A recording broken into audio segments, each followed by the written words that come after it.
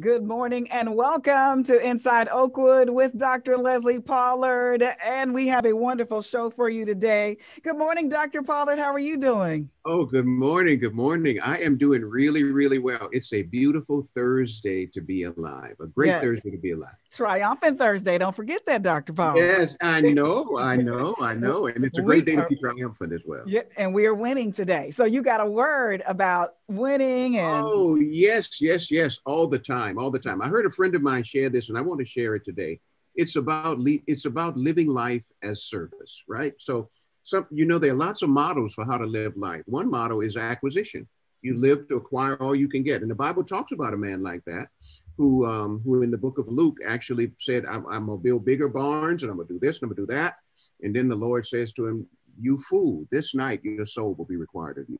So the life that says, "My goal is acquisition," is unsatisfactory and it's not going to be sustained.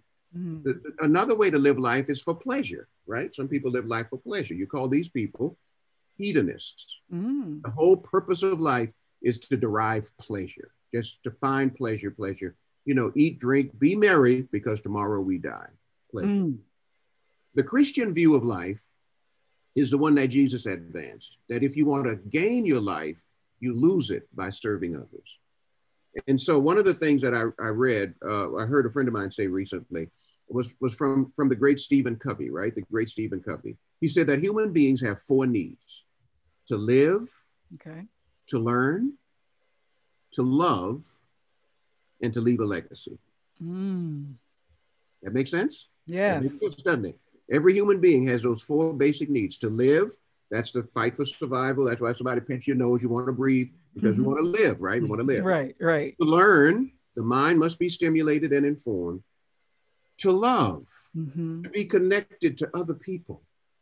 And then to leave a legacy, to not just live for ourselves, but to leave something that others can build upon. Mm-hmm. Mm. Today, when we think about the way we're going to live our lives here on Inside Oakwood, for 125 years, Oakwood University has said, we've got to live to love and learn and also leave a legacy. And that legacy is a legacy of service. So our motto here at Oakwood is enter to learn, depart to serve. Yes. And that's what we're all about, right? So that's what we're all about. And so when we talk about what's going to be happening today in our broadcast, this family is committed to using everything that God has given them mm-hmm. for the purpose of service. Because that's the only life that's fulfilling. Even Dr. King said, Dr. King said that the full life is the life where you serve others. So mm. that's what we're about at Oakwood. We've been doing it 125 years. We're going to keep doing it and keep turning out students who enter to learn right. and.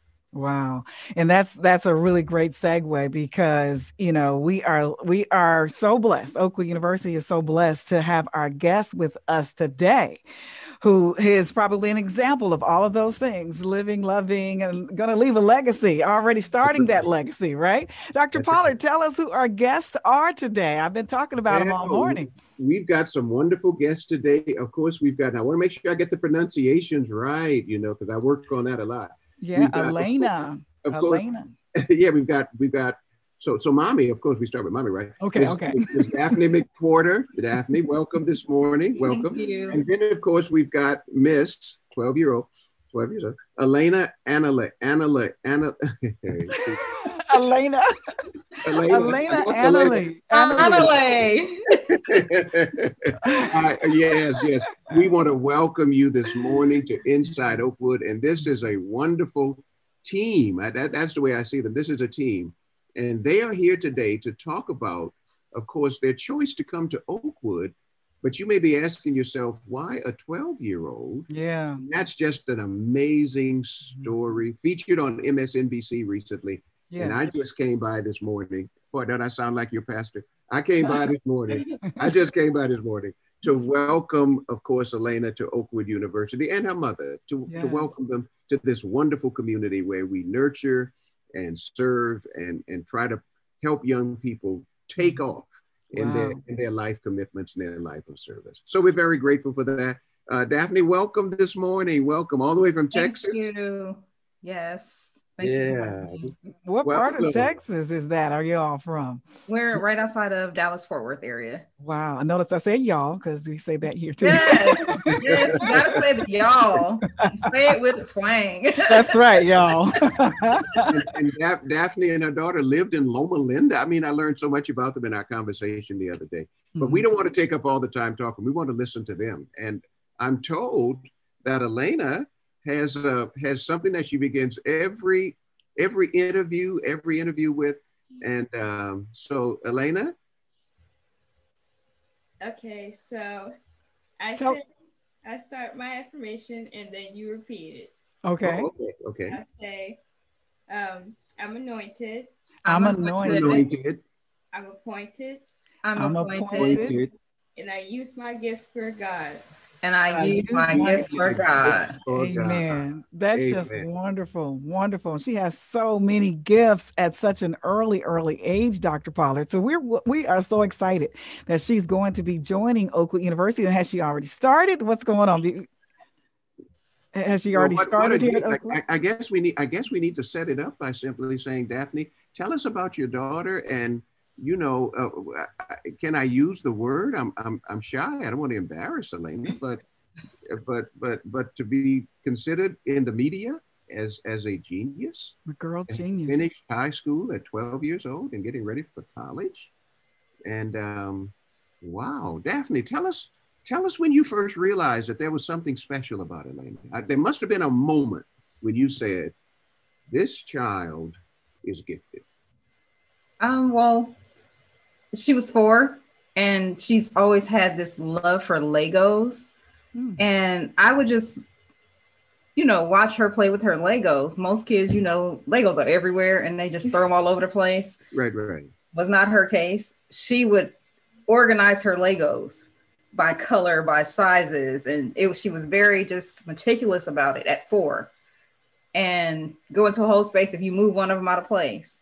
Mm-hmm. And I would just watch her as she would play with her Legos. And I would just sit there and be like, okay, um, okay.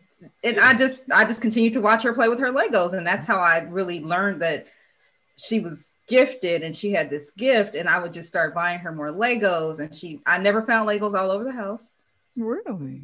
They were always put together or they were always color coded and by size and you would see the, the bunch of colors. yeah, yeah. so at that point, I think is when I knew that there was something something there, mm. and um, I started taking her to uh, astronomy nights at four, four or five mm years old. I mm. started taking her to astronomy nights, and I think her first astronomy night was the Temecula astronomy night um, in Temecula, California, mm-hmm. and she was just just blown away just by the stars and space. And at that point is when we kind of just started this journey of going to astronomy mm-hmm. nights, visiting NASA centers. I would buy her Legos. And as she got older, you know, I'd get larger Legos. And so I just knew that I knew that there was a gifting there and I nurtured that that gift in her. Um, and she would always tell me the first science center I took her to, the NASA center, she would say, you know, mommy, I'm going to work here one day.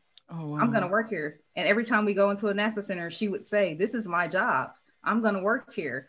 And initially, she said she wanted to be an astronomer. Now that's changed to she wants to be an engineer in mm-hmm. robotics. But that's that's kind of how the whole journey started.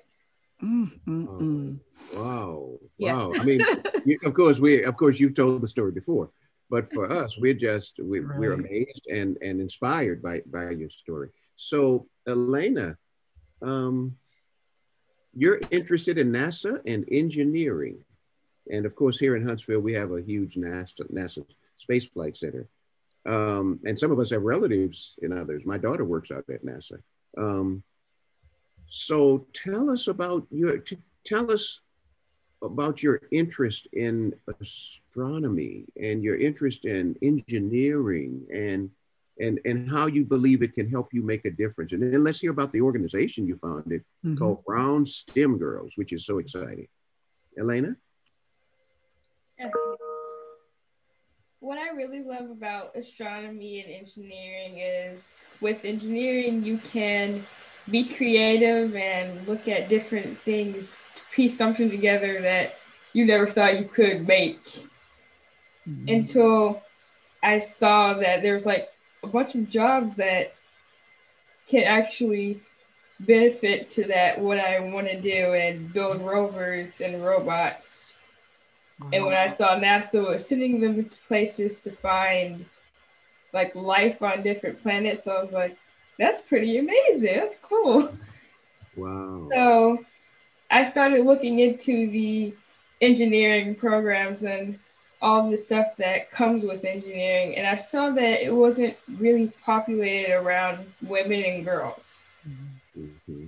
Mm-hmm. So as I started looking more into the population around engineering and science and STEM, I said, well, why aren't there any little girls or mm-hmm.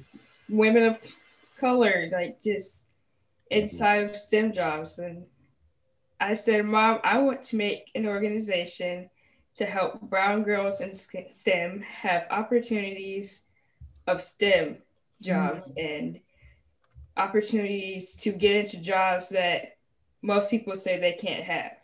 Mm-hmm. Wow. wow. So you've wow. done more than most people do at age 50 something. really? I mean, you you've already finished high school and and starting college and you've started this foundation how do you even find the time to do this at 12 years old? And i know you got your mom there with you but you know i know that that you probably led a lot of this right? And and as far as getting it done and having the ideas and implementing them? I pretty much um very like determined when it comes to STEM so I say like, say if she, my mom asked me if I wanted to go for ice cream, like, okay, I have assignments to do. I have to literally finish this Lego. so I'm like, I rather do this than go actually spend my time mm-hmm. doing what you see normal 12 year olds doing, wow. mm-hmm. going to going shopping or just hanging out with the family. I'm over there building Legos.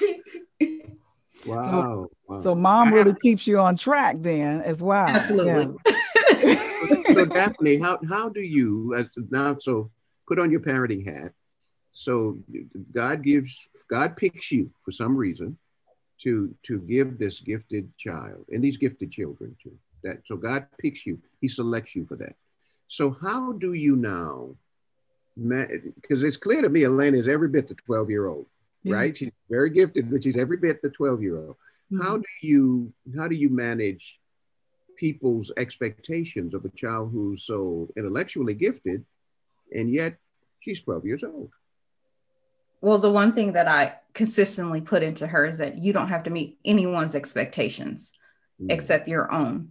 You mm-hmm. she's very, very, very organized. Mm-hmm. Um, but I continuously instill in her is that the only expectations you have to meet are your own.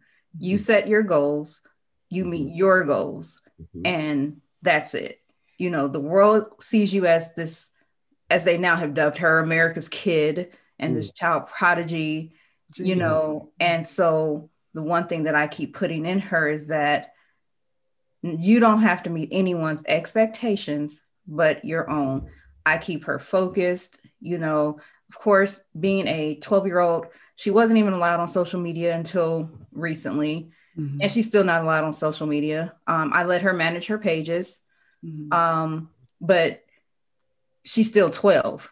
So okay. I have a God given duty to protect her and to cover her as a mom mm-hmm. and protect the gift that God has put inside of her. Mm-hmm. So she's still 12. She still does 12 year old things. You know, I know when to shut it down and say, yeah, not today. We're not doing this today, or we're not taking this interview today, or you need to close the books for a few minutes and do X, Y, and Z, or pull her out the house. She's involved in, you know, activities with other kids her age. Mm-hmm. You know, she loves track and field and she she loves cheerleading, you know, so I still keep her around kids her age, despite that she's still in college, mm-hmm. you know, and she knows how to communicate with her peers.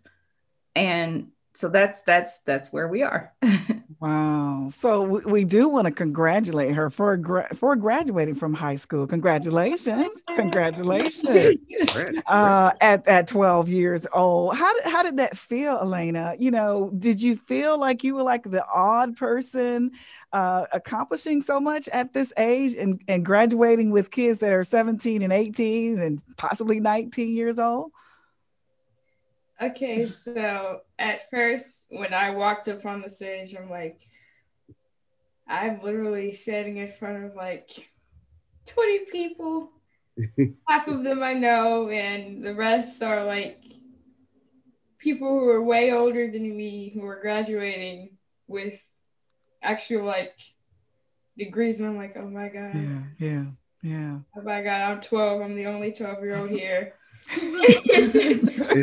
Everybody's just staring at you, waiting for you to start talking. You're like, wow. I'm on the stage. and you gave the speech? And normally, yes. You gave the speech. Wow. Tell us what you told your class. Well, my speech was mostly about the power of thank you and what thank you can do. So I, I did like say a lot of thank yous. Wow. Mostly thanking like the homeschool coalition and my mentors, my mom, and all the people who have made this happen for me. Mm-hmm. So I would say I was kind of nervous, but at the same time, I was, I was very excited. Wow. Well, you know, I think everybody that makes any kind of speeches, I, am sure Dr. Pollard at a graduation is nervous, you know, with all the people. Um, so that's not unusual. It's just that you are 12 years old and you've accomplished this uh, at such a young age. And uh, to see you, to talk, to see you and hear you talk about what thank you it means to you. Do you have a special experience? I know you got a lot of people to thank, so that's not where I'm going, but I'm like, what was it that that experience that helped you realize that thank you was a big deal and saying it? Okay, did you I, I don't know if you already told them this, but um Mr. Oh, Mr. Clayton Turner. Mr. Clayton yeah, that was came and he gave me my diploma on the oh. stage. And Clayton Turner um, is the director of NASA's Langley Research Center. Oh, wow. Mm-hmm. So that was I was pretty excited. I didn't even know he was gonna make it. So when he came, I was like, eh, why? wow. wow. Mm, the real moment. no, Daphne, Daphne, she is every bit the 12 year old. I, I mm-hmm. could just you have done a wonderful job. You, Thank you. you. Really She's every bit the 12 year old. That's beautiful.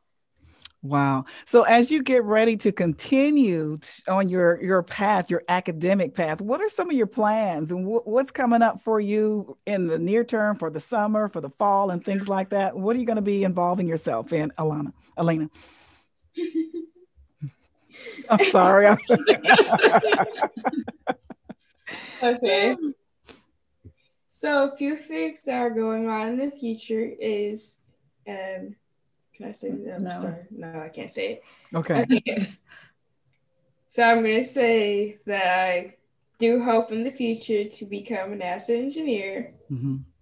and that I am getting an honor in Phoenix oh. uh, around like next week.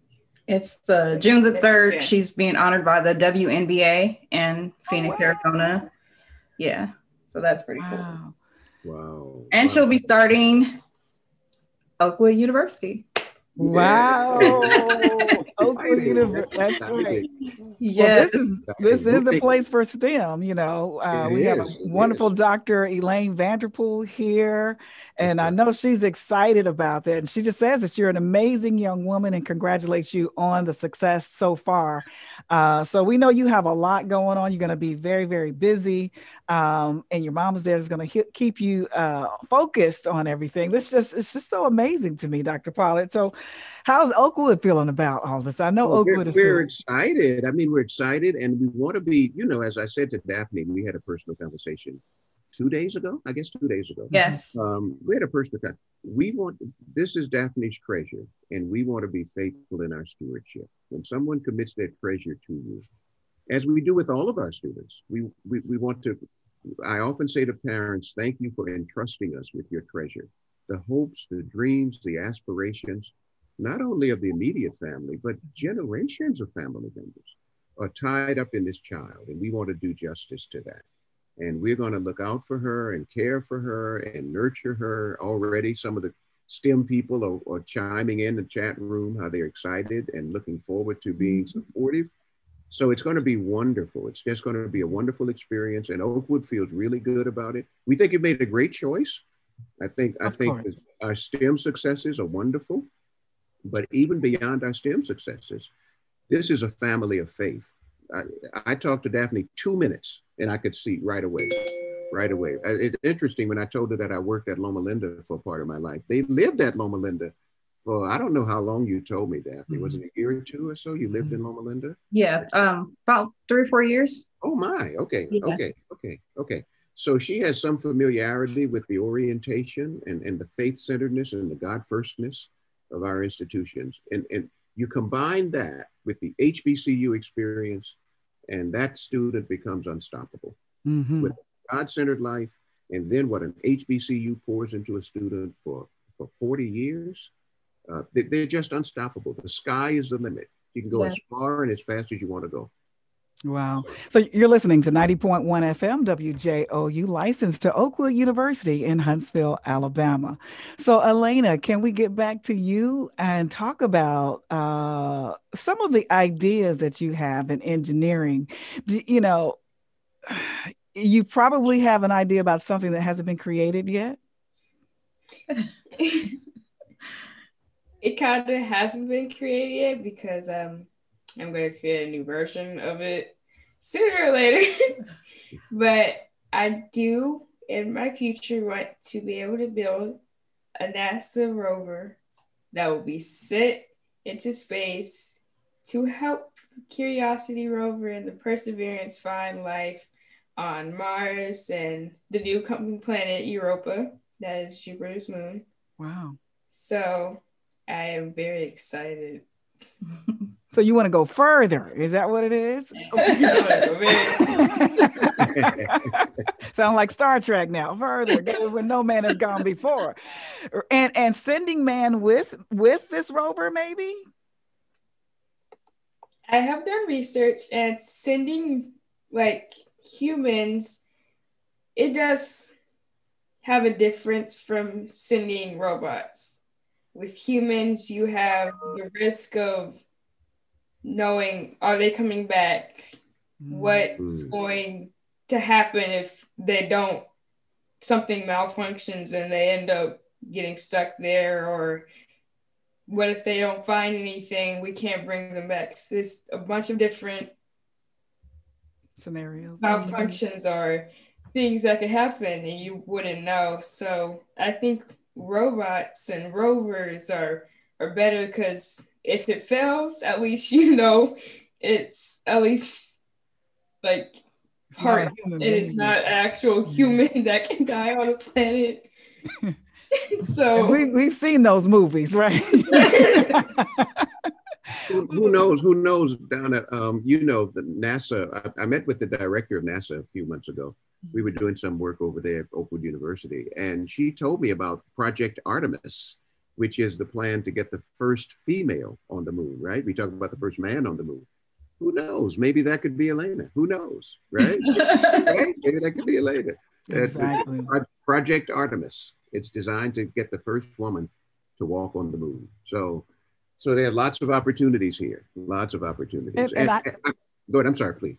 No, I was just going to ask since you, you know, since you made that uh, you specified that I wanted to ask her personally. Does she does she actually prefer working on on Earth, or do you uh, do you really look forward to going out in space? You know, because some engineers they're into it, but they don't. They're not like I want to go to the moon, or so.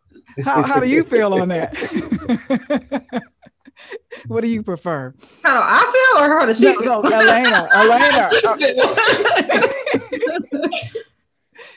Alena. the earth is a pretty good solid ground.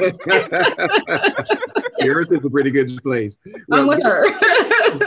you know, now there, there are lots of before we before we wrap up, uh, Donna. There are lots of wonderful tributes that are coming into the chat room. I just want to share a few of them from our listeners and from our viewers. Right, uh, yeah.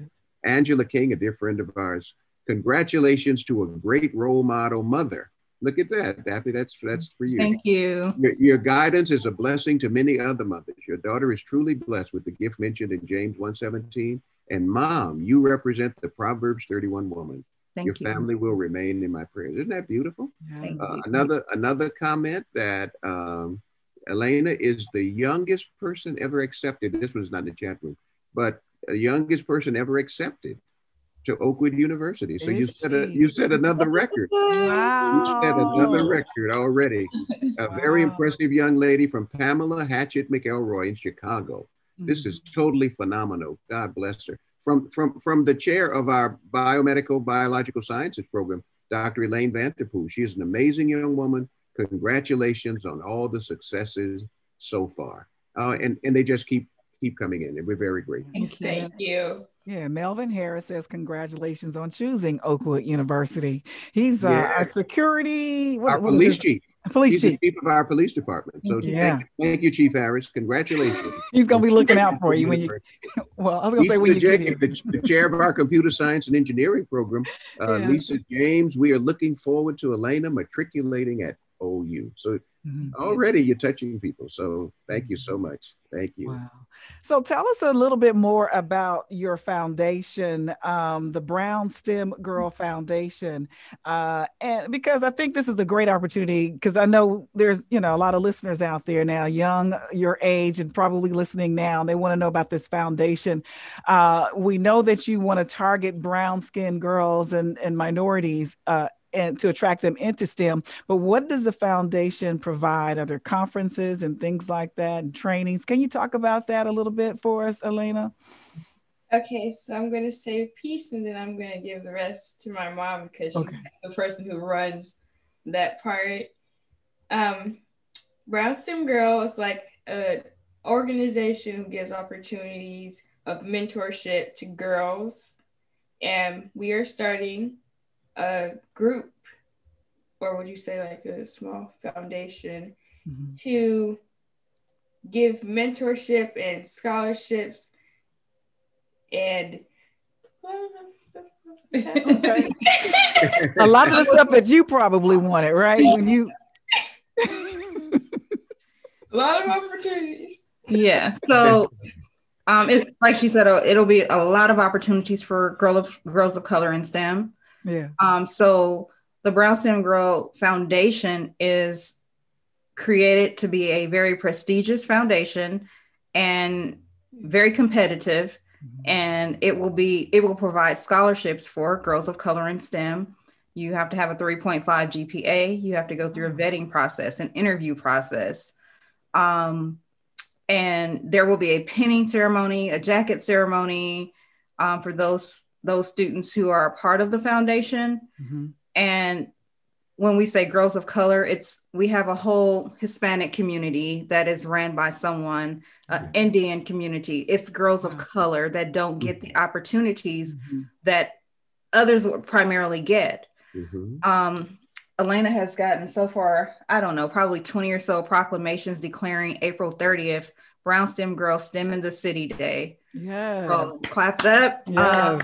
Um, that day is dedicated to bringing resources in the community for girls of color in STEM and honoring women of color in STEM. Mm-hmm. So next year, April 30th, will be Brown STEM Girls STEM in the City Day, Brown STEM Girls STEM in the City Day Disney. Mm. And at that time, there will be a conference open to the general public for girls of that, you know, are considering pursuing mm-hmm. something in STEM. And then for those that are that meet those requirements that would like to attend the conference and they're already in the STEM field. And mm-hmm. then there will also be um, their pinning ceremony and the jacket ceremony for the scholars that are selected through the Scholarship Foundation. Yeah. Um, applications open Jan- July 1st and will close September 1st and will be vetted by an entire board. So if anybody wants to give, you can go to the website and give you have girls that want to apply, you can go to the website and apply. Um, and right now we're seeking to develop, which, you know, we've talked to Dr. Pollard about um, a whole just portion of the foundation mm-hmm. where we create partnerships with other colleges and HBCUs that will partner with them mm-hmm. to work with them in getting admissions to HBCUs wow. and pursue careers in the STEM field. Wonderful, wonderful. Well, we do have a question about that. How young uh, do your participants need to be to participate? Ages advantage? 10 through 17. 10 through 17. Okay. Yes. Mm-hmm. And that is for the mentorship program. For the scholarship program, the scholarship program is open to high school seniors. Mm-hmm. Um, oh, they froze up there, Dr. Pollard. Ah, oh my goodness. Maybe, maybe, it'll, maybe it'll come back on. Hopefully they'll pop back in. But that that's a great foundation, the Brown STEM Girl Foundation, uh, that uh, Alena and her mother have set up. So, Dr. Pollard, you know, I know uh, Oakwood is feeling like a winner today on this triumphant Thursday oh, about yes, this whole yes, situation. Yes, of course we we are, and and and we generally do. Um, it, it's it's a wonderful opportunity and I'd like to thank, of course, too, our enrollment team. Uh, Mr. Lewis Jones, many of you know him. He's our director yes. for enrollment. Mm-hmm. He, he just moved right in to make sure that the family was comfortable and that they had adequate information. Mm-hmm. And we were very great. Oh, back, back, back. Here yes. So, so, he, so, Mr. Jones, Mr. Jones was a wonderful liaison, and I just want to acknowledge his work. Uh, I don't know any person that has more passion for Oakwood than I'm Mr. telling Jones, you, our director for enrollment. He loves this place because he knows it's its power. He experienced it. It's transformational power. So, so Daphne, would you please finish telling us about the? You, you froze up right at a certain point. You were telling us about the foundation, and you had just said that that we're going to work together with Oakwood, of course, to access the HBCU community for Brown yes. Firms. Okay. So we just wanted you to finish because you froze up at one point and then we lost you. Okay, so right now, um, not releasing too much information because, of course, we'll we'll be working very closely with Oakwood and Dr. Pollard and um, the staff there to create a funnel or a channel for girls that want to attend HBCUs and providing admission and scholarships into these HBCUs. And again, you have to meet certain requirements. Mm-hmm. So Alena's really established this foundation as a competitive, prestigious yeah. African American foundation for girls of color that they don't have out there. Mm-hmm. Um, so, and you have to go into whatever college you're going to into the STEM field, and you have to commit to that. So mm-hmm. there are things and responsibilities and accountability, and you know, it's not just being thrown into something. There's a whole mm-hmm. accountability process to make sure that you stay on your path and that we support you and that whatever school you go to supports you wow within your career of STEM. Wow. So in this foundation, it sounds like now the foundation is the mama that you have been to Alena, taking care of those participants. yes, yes. and that's what we want to create in other girls because part of that is throughout their college tenure, they're responsible for going back and mentoring the girls, the seniors in the foundation. So mm-hmm. the whole gist here is giving back. You know, mm-hmm. something was given to to us, my daughter, she's giving that to them. And so now you get a chance to give that back mm-hmm. to other girls. You know right. you don't just get to sit on your gift. Mm-hmm, mm-hmm. All right so we're getting ready to close now. Could you tell us the website uh, daphne and where people can go to get more information about the foundation and program? Absolutely. Um, the website is thebrownSTEMgirl.com and then when the website for the scholarship launches, it will be on the website and it will be the Brown STEM Girl Foundation, excuse me, the Brown STEM Girl Scholarship com, and you can also find it on all of Alena's social media, The Brown STEM Girl. All right. All right. Thank, Thank you. you. Thank you so much, Dr. Pollard. Well, we, we welcome you. We, we, we, welcome you to Oakwood, and we look forward to working together to grow this area. As a matter of fact, most recently in March, our, our faculty, our STEM faculty, and our Office of Research and Grants put on a major conference on women in STEM, and it was exceptionally well done and well received. So we'll continue that trajectory. And now we've got girls in STEM. Oh, this is wonderful. I can see it growing. I can see it growing. So thank yeah. you so very much and God bless you. you. And we look forward to welcoming you and seeing you. So we're yeah. so excited. And I can't wait to get my t-shirt.